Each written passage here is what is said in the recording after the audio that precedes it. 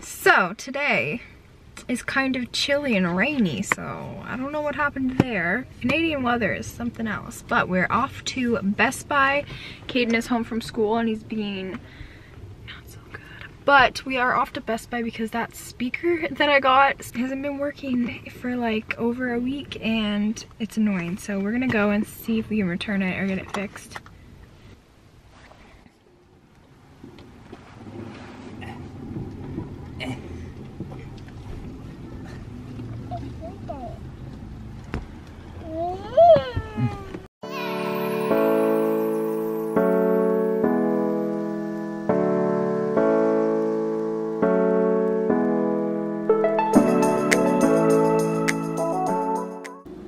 Can you shush for a second? Can you, can you, shh, quiet. I, no, no, no, stop, stop, stop it, stop, stop. This little monkey's eating her breakfast, actually eating food.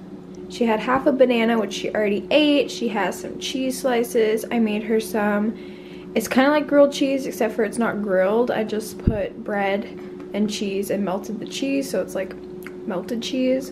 Um, some Cheerios, and then I gave her some cucumber. And I was for sure that she would not like it, and she loves it. She actually keeps picking it up, and she's been chewing on it, taking bites out of it, and she likes it, which is a huge surprise. And she hasn't choked once.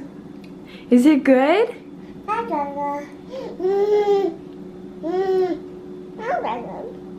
Yeah, you like it?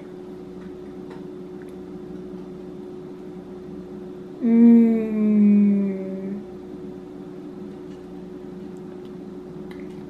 She's doing so, so good.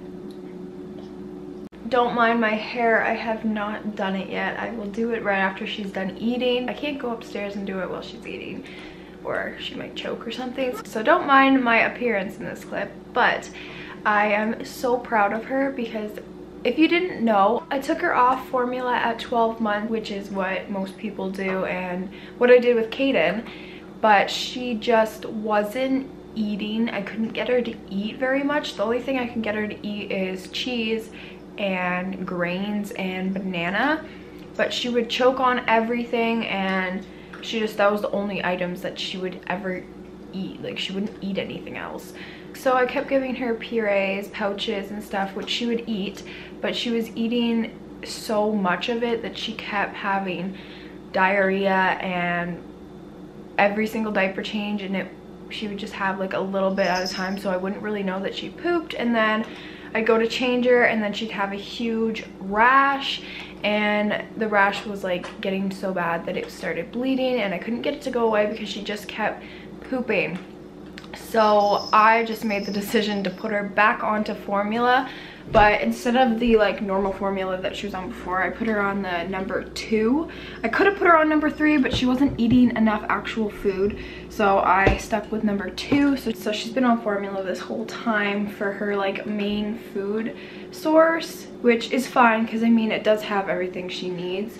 And she does snack on a lot of food but it's just like cheerios and like puffs and bread so yeah. Little monkey i'm so proud of you. She's actually eating a sandwich and she was eating cucumber which i for sure thought she was gonna hate and she actually really likes it which i'm still in shock because i don't even like cucumber. I think now we can finally get off of formula if she keeps eating like this and keeps trying new things because that was the big thing. Like she wouldn't try anything she just wouldn't try anything but she's actually she picked she saw it. She never had cucumber before. She's like she had all the stuff on her plate and she went straight for the cucumber tried it. She made a weird face but then she's like yeah you know what? I like this and just keeps eating it so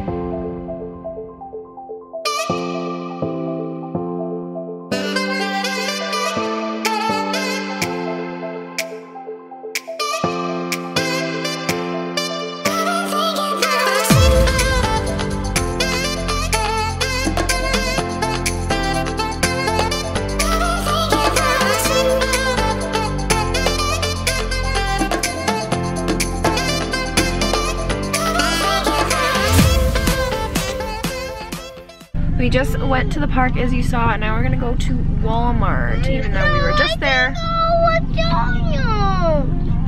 I have no words for that kid, no words. Hey guys, so today we are just waiting for my mom to come over and hang out. She worked yesterday, so we didn't get to see her. So hopefully she comes here soon. The kids are outside playing with chalk and well Aria's just sitting there because she would of course eat the chalk. But I did want to say that not last night but the night before Aria fell and she whacked her lip off of the coffee table and there was blood everywhere. So if you see her later in the vlog and she's got like a big bruise and a cut uh, that's what happened. Um, it definitely looks way better than I thought it was going to look so that's good. The cut isn't too big um, and it's just a little bit bruised on her lip but it definitely is a lot better than I thought it was going to be because there was a lot of blood and there's even like a washcloth out here that I still haven't cleaned yet. That's like covered in blood but